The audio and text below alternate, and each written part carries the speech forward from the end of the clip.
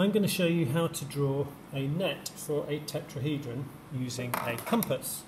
So first of all I take my piece of paper and I put my point of my compass in the middle of the paper.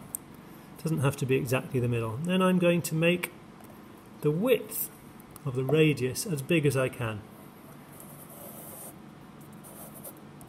I'm going to turn around, oh that's too big. And let's try again. That's going to be a little bit too big.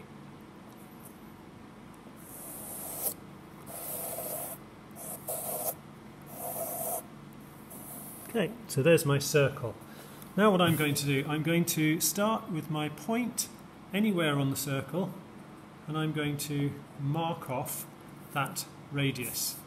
You've got to keep the radius unchanged and keep moving around your circle until you've got six of these points. And make sure you hit those points as accurately as you can.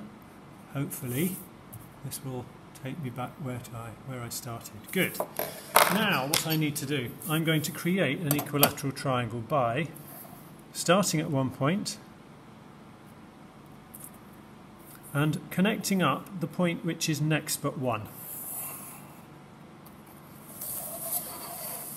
And again, next but one point. Not the next one, the next but one.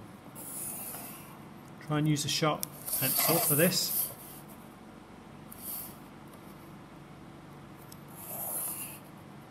And get it as, as exact as you can. Now what I need to do is I need to find the halfway point of this line. And the way I'm going to do that is by connecting my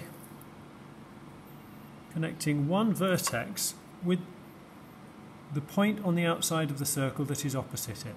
And I'm just going to make a small mark to show that this is halfway. So I'm going to turn this round and again I'm going to connect from this point to this point here, which was the mark on the original circle.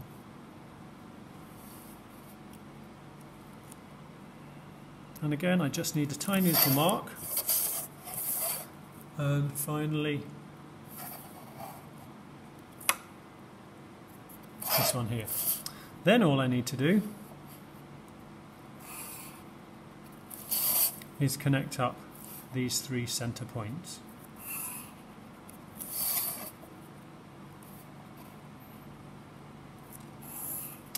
So there's my net. All I need to do now, if I wanted to make this into a 3D shape, is put some flaps on. You can just draw those on. And the way I would do this is do one, skip one.